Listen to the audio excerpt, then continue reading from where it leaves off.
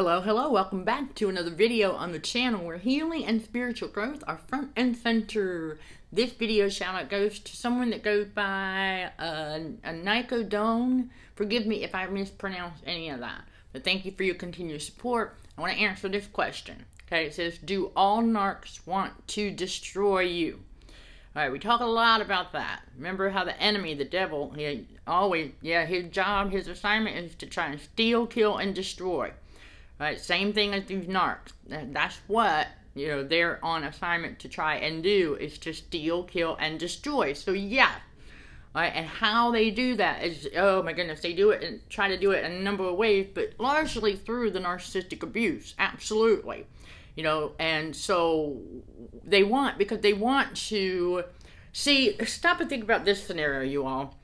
All right, if God had not awakened us and we kept falling for it and dishing out that reactive abuse, eventually, you know, it could have overcome, it could have overtaken us. And that's what the enemy wants to happen is for us to continuously step out of character. Listen, y'all, if you're still working on that, hang in there. Okay? You will get to that point where when the narc tries to poke and prod, that you'll see exactly what they're doing and you will not give them any emotional supply at all. In fact, many of us just end up walking away. we give them the mommy or the daddy look and we walk away. You know, because it's not even worth it, you know, if they try to do that. All right, and so that's that. But you do get to that point. Absolutely, because you're protecting your peace. All right, you're protecting your peace you're not going to let them get in there and disrupt what you what what God has worked hard to help you achieve. Okay, so you're, you're going to protect it. You're gonna you're you're a soldier for God. So anything that you know, all of that restoration and stuff that God had, had doing and had done, when you get to that point where it's like you spot them, they're trying to get a negative emotional reaction out of you or to try to trip you up into engaging in the exact same stuff, dish it back out. See, they think that's love, y'all. Seriously, never forget that. They truly, truly believe that the abuse is love. They know better, but that's what they've been taught. Okay, that's all they know. So we realized this that, oh, okay, so if we're not dishing it back out, they will accuse us of, of, of, not knowing love and things like that. And we learn to let that roll and not even, you know what? Let them think what they want to think, okay? Because we know better. All right, but they definitely do. All right, and the other way is to, that's because they want to turn you into a narc, okay? Through that constant getting under your skin and things like that. They want to turn God chosen empath into a narc. Now, when God awakens us to and from the abuse, we recognize the moot in our own eye. We do that inner work. We let God and Jesus do what they got to do. Okay, and then we continue with them, mm-hmm, picking up our cross and following Jesus, mm-hmm, and and following His teaching to learning how to become more Christ-like more patient, get that godlike patience that we've got to have, and things like that. How to be wise as a serpent while being gentle as a dove, and all of that, while still being bold as a lion, okay? So we we learn all of this, okay? But that's what the narcs don't want to see us do. They would rather, you know, try to destroy us by turning us into one of them. Because let's stop and think they are. You know, remember, God says, "Wide is the path of destruction." Okay, wide is the path of destruction, which is following the crowd. And so they continue to do that, and so they're the ones living in their own inner turmoil. Okay, that's their own internal, you know, hell, if you will. Right, that's their own. That's their own internal lake of fire. That emotional dysregulation. Okay, they want to turn others into another one of them so that they can continue to quote unquote feel a little bit normal. Mm-hmm. That's how they that's how they get that. Uh, in that comfort zone. Mm-hmm. So that their demon spirits will stay, you know, won't be as restless, so to speak. Because they can't handle it. They don't know that's going on. They don't realize it.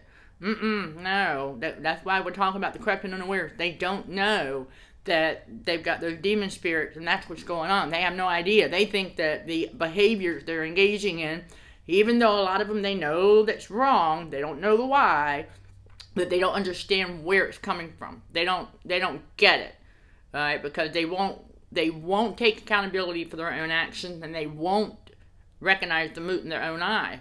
That's why another reason why we learn to like overcome overcome wanting to confront them on it because it's it's like talking to a brick wall. That's many of us can attest to that when we've tried to step in and see if we could correct all right the narcissistic narcissistic abuser and make them aware of their bad behaviors and we realize what that what what happened okay yes they lashed out or they stomped off throw a temper tantrum uh, blame shift deny and all of that stuff. And so it's like okay never mind. You're talking to a brick wall basically. So that's why we overcome that. So never forget that for those of you who are still in that stage, keep going because you will. You'll overcome that. Right? Remember, everything. It, it kind of like you. You you got a baby step. You know, got to crawl before we can walk. Right? Yes, because remember, re, being reborn again in spirit. It's a whole. It's a spiritual birth. So we think of it in that ter- in those terms, okay? Because you're go, you're being reborn, uh, uh, that uh, spirit, okay, in spirit that raising of the spiritual body. And so you're going to go through the, uh, kind of like an, a whole nother a, a spiritual childhood development in a way. All right, that's the best way I can put it. So you're going to go through those stages. Okay, you're going to overcome that, and then you'll overcome you know the anger, the animosity, and all of that going forward. Okay, once you realize that you know what, you got to turn it over to God. That's that. To make it all the way to that radical acceptance. And then for those of you, uh, for a quick reminder, for those of you, you saw the uh, Consulting for Heightened Awareness Academy, uh, kind of like a, a short promotion at the very beginning of the video. And if you missed it, just remember that you have the option of making a one-time payment or five monthly installments, whichever works best for you. And you have access to that for up to one year. Okay, once you once you purchase the course, you'll have access to it for one year the only thing is if you if you choose the five payment option, it won't let you back in until each payment. You know what I'm saying? Like you make the first payment, you'll get in, and then the second payment when it comes due, it will it will want to collect that before it'll let you back in after that date, like the month. Okay, so you know you can learn at your own pace is what it's all about. All right, it's very simple. I don't bog y'all down with the overly sophisticated, complicated words. Mm-mm, no, just to help educate you with God's wisdom and basic scientific facts so you understand what was going on during the trauma bonding process because that's going to help you level up your healing and spiritual growth. Absolutely, 100%. Because once you have a good understanding of what was going on with that brain chemistry, and then also with the spiritual truths behind it, it'll help you get more regulated. And then also to know how to. Okay, there's there's many different ways, but that's just one more avenue of, of help for you all. Okay, with the education and you know, and we also talk about it. I got the chapter over there about how the overinflated ego. See these narcs that have the overinflated ego. Mm-hmm. That's that opens up the portal for the unclean spirit, the demon spirit. Okay, so there you go. Because they're, they're very ego driven. All right, very ego driven. Anything that bruises their ego upset them and they want to go destroy whatever it is that bruised their ego. So, absolutely. Okay, they definitely want to destroy their target. After all, it's the enemy who gets off on seeing people suffer. And so, these narcissistic abusers, many of us have had this happen where the abuser had us on our knees or, or on the floor or whatever, and we were bawling our eyes out, and they would stand there and look at us with that evil, sadistic smirk on their face. And we were like, dude, that's not even, I mean, it was, you know, it was creepy at first. But see, after that, we learned to not give that to them because that's what they want. They're getting off on watching their target suffer. It's sick and very, it is, it's sick and twisted. It's pure evil okay, in human form. So, yeah, it takes a while to overcome that. We know that. but many of us have had that happen. Oh, absolutely. Uh, and seriously, yeah, or and then some of us who actually had a uh, procedure that we had to have done, and we ended up in the hospital for a little bit, and then we, you know, I, I remember, okay, the psycho sitting in the chair, doom and gloom, and had that very, very eerie, sadistic, okay, a, a, a sadistic look on his face, like he was deriving pleasure out of watching me. You know, I was sitting there doing homework yeah, I was still doing homework as I was recovering. But he just, that was really, I will never forget that. So that um, that's how they are. Okay, that is how evil these narcissistic abusers are. They truly they they they like to see people suffering. That's that's their thrill. Okay, remember that's what makes them feel powerful, makes them feel like they're in control because they could tear somebody down to make themselves feel better. And we know what that means. That means underneath all of that, they're really a coward. Okay? They are a weak coward. Anybody who does that has to go around tearing people down just to make themselves feel better. That is a weak coward. Absolutely 100%.